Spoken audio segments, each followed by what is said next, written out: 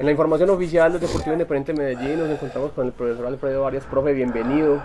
Eh, se viene un partido difícil, una cancha complicada. ¿Qué opinión le da este Deportivo Cali, un equipo que usted bien conoce? Bien, eh, primero que nada, un, equipo que está muy urgido, que está con cuerpo técnico nuevo, algunos refuerzos. O sea, es un equipo que va a intentar de todas maneras quedarse con los tres puntos y, y, desde ese plan de ellos nosotros tenemos que saber que va a ser un partido durísimo. Y para eso nos preparamos, para un partido duro, pero vamos a ir con la fe y la esperanza de, de competir y de traernos los tres puntos a nosotros. En el partido anterior, profe, se logró la primera victoria del campeonato. ¿Cómo sienta esta victoria para, para el equipo? Siempre ganar es, es, es lo mejor no hay nada mejor que ganar.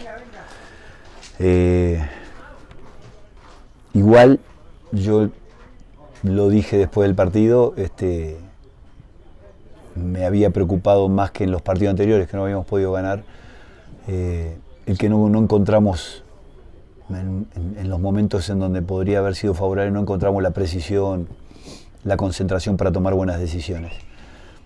Pero bueno, puede pasar, tenemos muchos jugadores que van llegando, que, recién se van conociendo, que nos van conociendo la idea que tenemos, nosotros conociéndolos a ellos y, y puede pasar. Eh, sí estoy muy, muy, muy esperanzado y muy ilusionado de que arrancamos un campeonato bien, arrancamos compitiendo con todos y competir quiere decir que le jugás de igual a igual a todos y en ese sentido vamos bien. Profe, en estas fechas que ya va sumando el equipo, ¿cómo ha visto el acople y el engrane de los nuevos refuerzos que han llegado al equipo? Ellos día a día van, van conociéndose y van aportándole a su, a su capacidad que ya tenían el conocimiento de los nuevos compañeros y de, y de, lo, que, de lo que pretendemos de ellos acá en Medellín.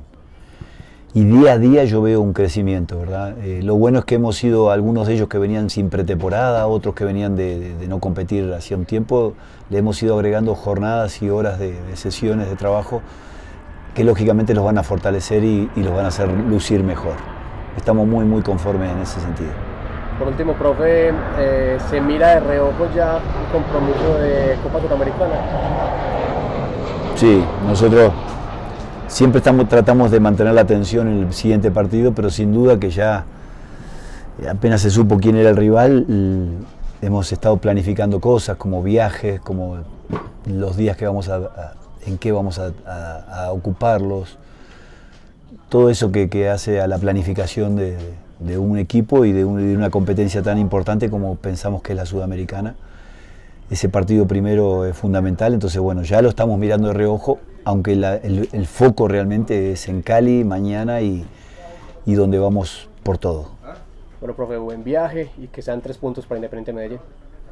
Ojalá que compitamos bien, ojalá que repitamos cosas buenas y corrijamos las, las que no estuvieron bien. Muchas gracias.